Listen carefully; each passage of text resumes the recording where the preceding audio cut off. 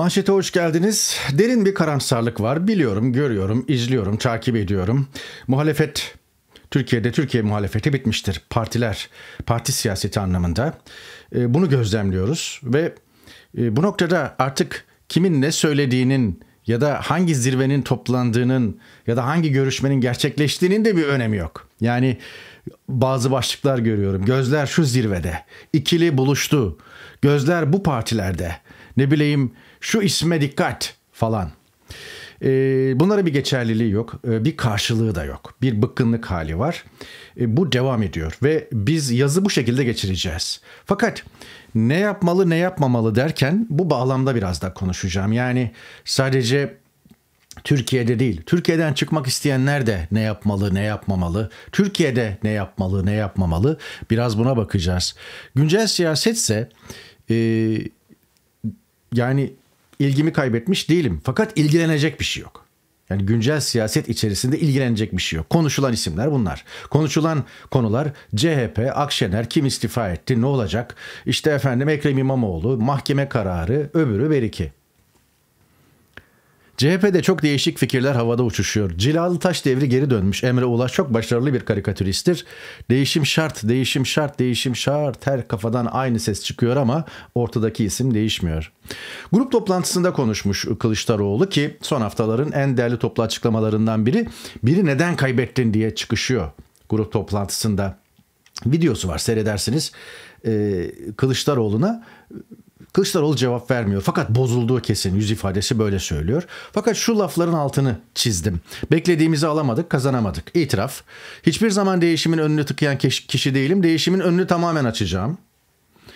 Kaptan olarak partimi limana götüreceğim. Kararlılıkla yolumuza devam edeceğiz. Yolumuz doğru, yükümüz ağır. Yani ben bu süreçte CHP'yi bırakamazdım. CHP kaptanlığında liderlik köşkünde bana ihtiyaç var. Bir yere kadar götüreceğim ondan sonra zaten bırakacağım. Bundan sonraki seçimlerde falan da aday değilim diyor ama Kılıçdaroğlu'nun bu söylemle ikna etmesi güç ve edemiyor zaten. Nitekim sunucular bile e, kendilerini tutamıyorlar ve Fatih Portakal o koltukta oturmamanız için mücadele edeceğim falan demiş.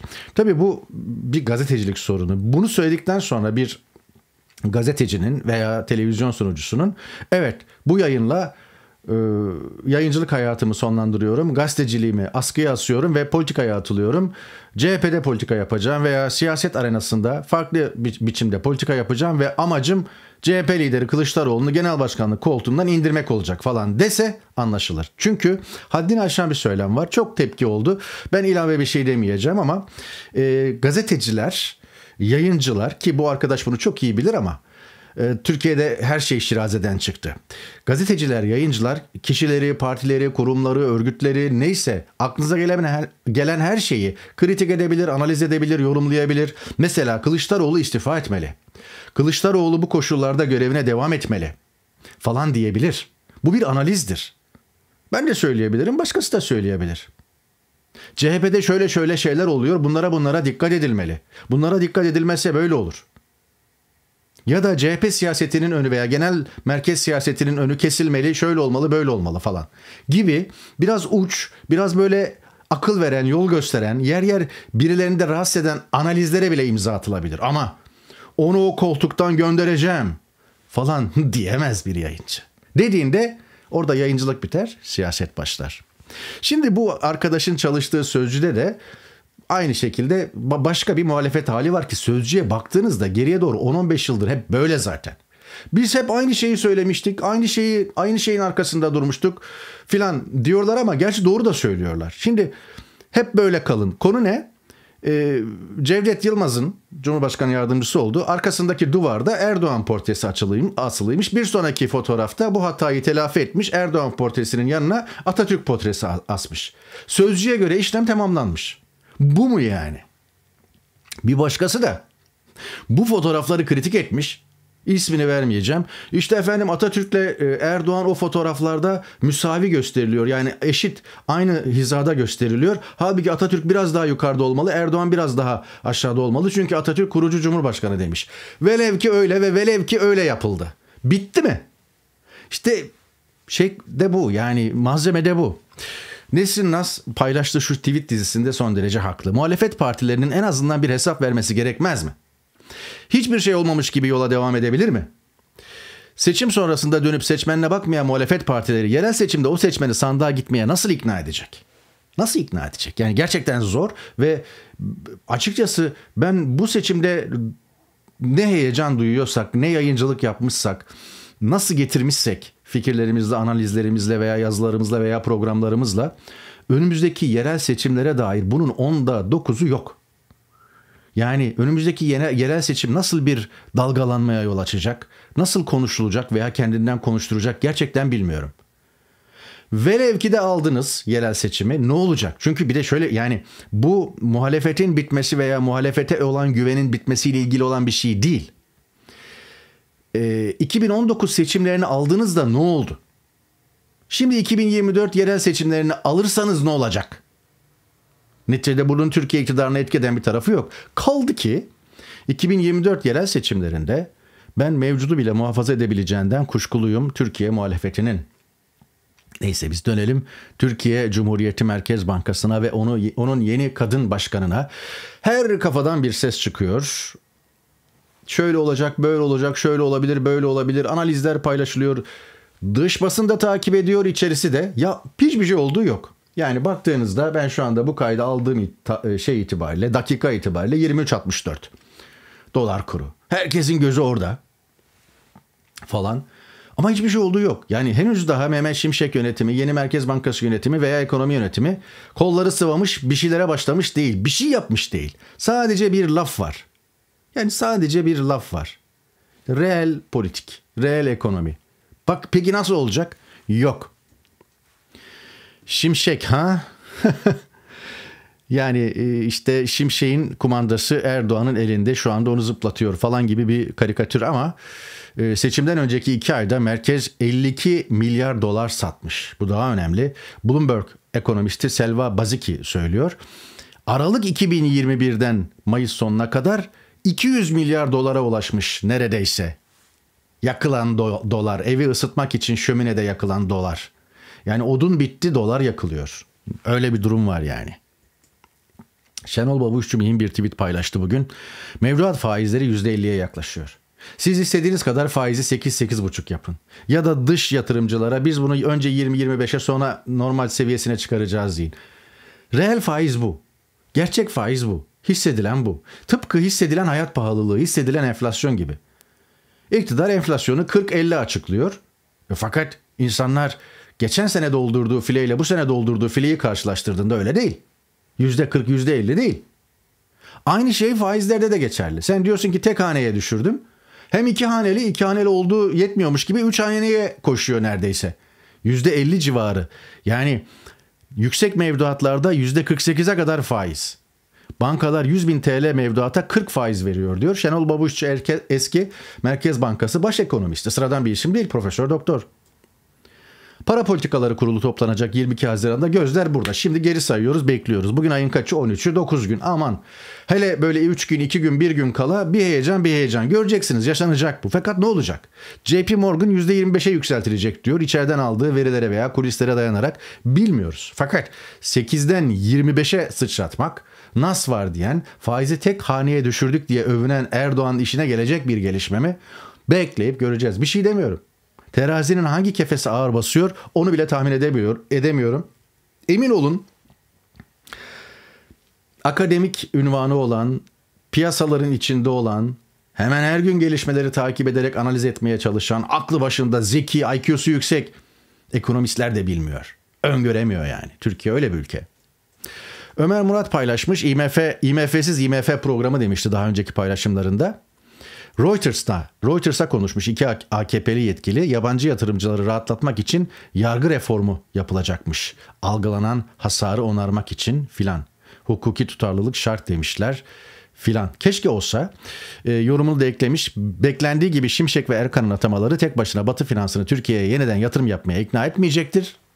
Görünen köy kılavuz istemez.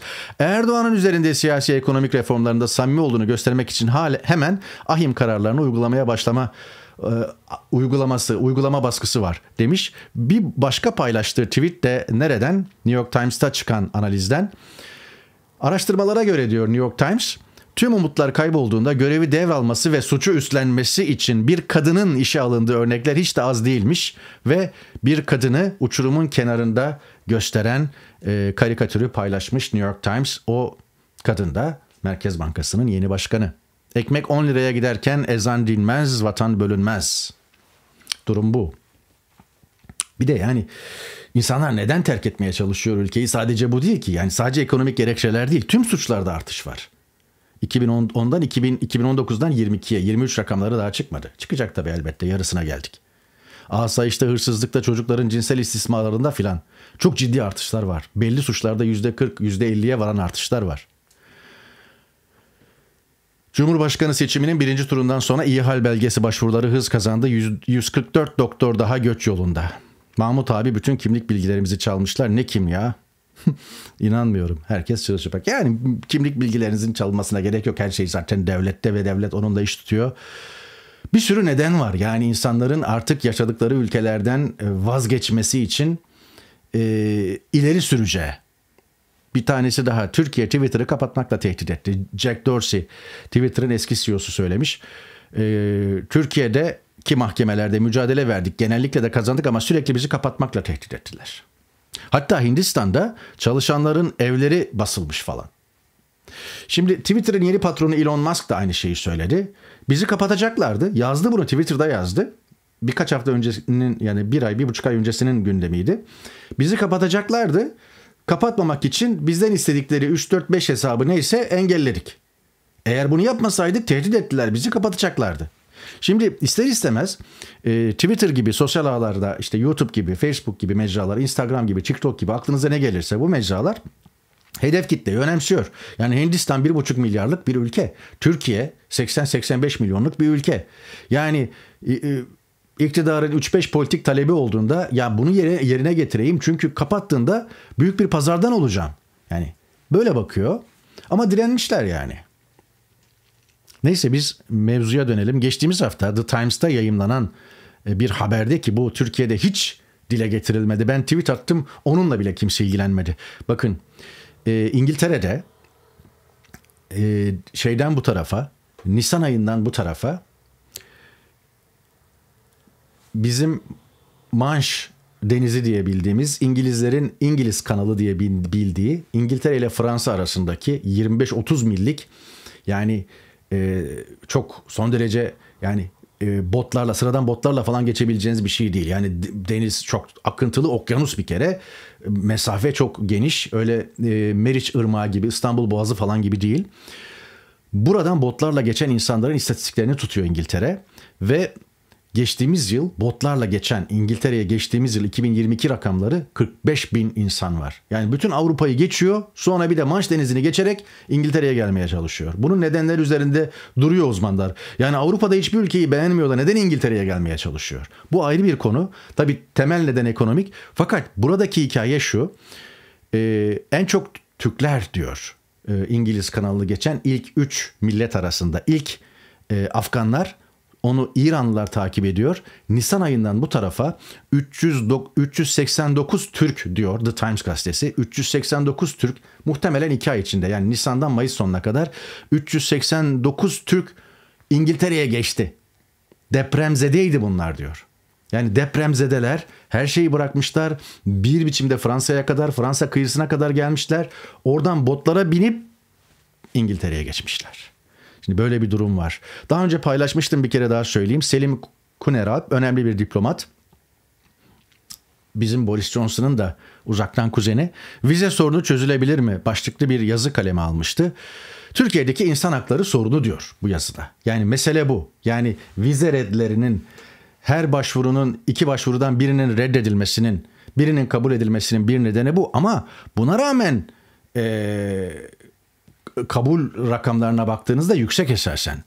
Avrupa Birliği Türkiye Delegasyonu Başkanı da aynı şeyi söylemiş. Türkiye'de terörün tanımı çok geniş, net çizilmeli. Ondan geliyor insanlar diyor. Erasmus öğrencileri bile ki Erasmus şu demek yani bir program çerçevesinde bir ay boyunca belli bir süre boyunca Avrupa'da işte bir yerde kamp olabiliyor, tren seyahati olabiliyor, e, tatil, yarı tatil, yarı çalışma amaçlı veya arkadaşlarınla veya kendi hemcislerinle neyse e, tanışma veya işte aynı e, sıralarda işte benzer okullarda okuduğunuz insanlarla kaynaşma fırsatı olarak değerlendirilen bir programdır.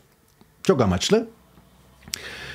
Bunun için gelenler bile geri dönmüyor diyor ki bunlar gençler yani. Erasmus programından yararlananlar gençler. Daha önce paylaşmıştım. Bakın Almanya Dışişleri Sözcüsü Ocak-Mayıs döneminde 2023 Ocak-Mayıs döneminde Türk vatandaşlarına 100 bin Schengen vizesi 18 bin ulusal vize verildiğini söylemiş. Yani evet iki başvurudan birini reddediyoruz ama kabul ettiğimiz rakamlara baktığınızda önceki yılların da çok üstünde diyorlar. Meksika sınırı ki e, Türkiye'de Türkiye'nin e, Türkiye ile Meksika arasında bir vize problemi yok. Yani Türk pasaportu olan elini kolunu sallayarak Meksika'ya gidebiliyor. Zannediyorum Brezilya'ya da gidebiliyor. Güney Amerika ülkelerinden. Meksika'ya e, Türkiye pasaportuyla uçuyor insanlar. Ellerini kollarını sallayarak Türkiye'den bir uçağa binerek son parasını da orada harcayarak Meksika'ya iniyor. Meksika'da sınıra geliyor ve Amerika'ya geçmeye çalışıyor. Sınırdaki manzara bu. Sınırda duvar var, çitler var, sınır devriyeleri var falan. Fakat daha sonra hapsediliyorlar. Belli kamplara alınıyorlar. Hapishane gibi şeyler. Sağlıksız koşullardan, yeterli beslenememeden, parasızlıktan başka nedenlerle insanlar ölüyor. Ve orada bir kısmı iade ediliyor, bir kısmı e, hala orada tutuluyor e, ve istedikleri sığınmayı alamıyorlar. Dolayısıyla Meksika sınırı da bir alternatif olmaktan çıkıyor. Berlusconi öldü üzerine söylenecek çok fazla bir şey yok. Son derece renkli bir politikacıydı. 1994-2011 yılları arasında zannediyorum 3 dönem İtalya Başbakanlığı yaptı. Recep Tayyip Erdoğan'ın kankasıydı. Çarşamba günü cenaze töreni olacağı söyleniyor. Bakalım kankasının cenaze törenine katılacak mı? Sağlığı el verirse Tayyip Erdoğan. Toprak altına girdiğimde hakkımda adil ve iyi bir adamdı denilebilmesini umuyorum demiş bir söyleşisinde.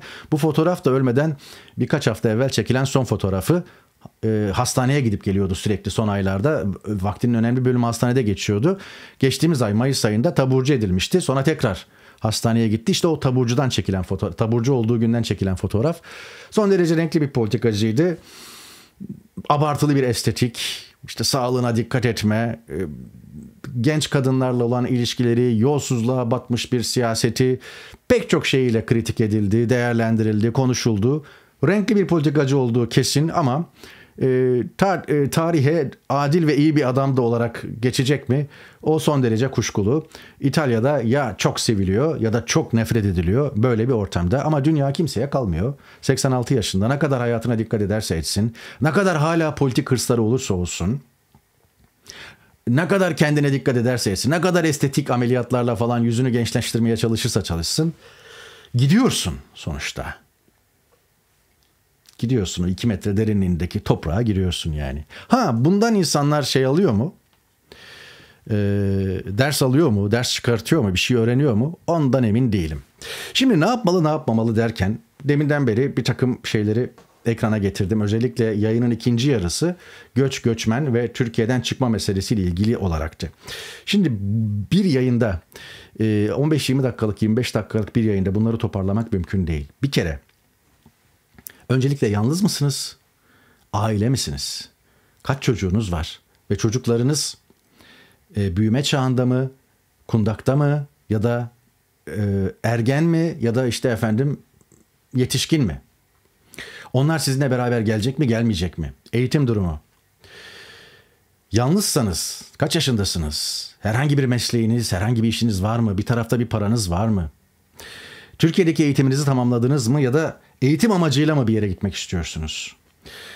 Ve herhangi bir yabancı dil yani lisanınız var mı? Herhangi biri. Fark etmiyor yani. Rusça, Çince, ne bileyim Portekizce bile olabilir. Fark etmiyor yani. İsveççe bile olabilir. Fark etmiyor. Çok az kişinin konuştuğu diller de olabilir. Var mı? Bütün bunlar önemli. Yani Türk e, yurt dışına çıktığınızda öncelikle ve öncelikle e, orada geçerli bir mesleğinizin ve hayatınızı sürdürebile, sürdürebileceğiniz bir işinizin, bir meziyetinizin, bir yeteneğinizin olması gerekiyor. Erkek tıraşı yapabiliyorsanız, kadın kuaförlüğü yapabiliyorsanız biliyor musunuz bu şahane bir meslek. Yani büyük olasılıkla istediğiniz ülkede istediğiniz gibi bir hayat kurmanızda mühim bir faktör olacak bu meslek. Önemli yani. Ne bileyim su tesisatı ta, ta, e, tamiratçısı mısınız? Yani su tesisatı tamiratçısı mısınız? Elektrikçi misiniz? Gittiğiniz yerde korkunç işe yarayacak. Böyle şeyler.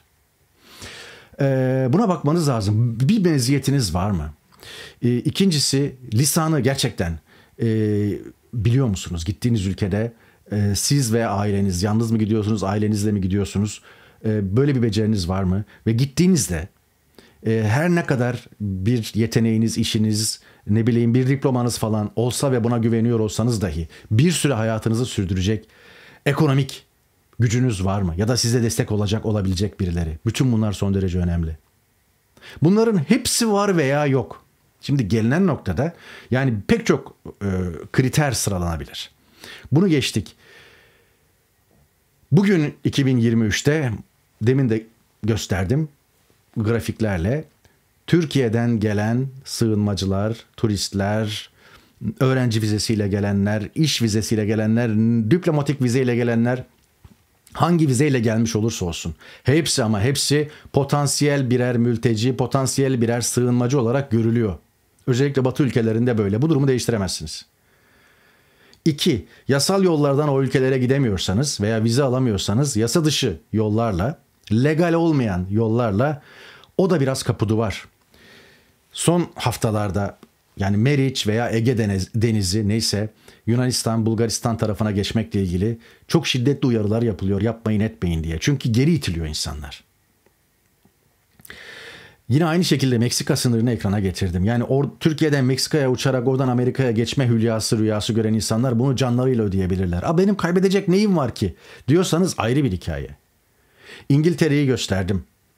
Yani İngiltere'de Fransa'yla e, anlaşma yaparak o Manş Denizi'nden gelen mültecileri nasıl geri iterimin derdinde. Ve gelenleri de Ruanda'ya Eylül ayından itibaren tekrar onu e, ısıtıyorlar. Tekrar gündeme getirdiler.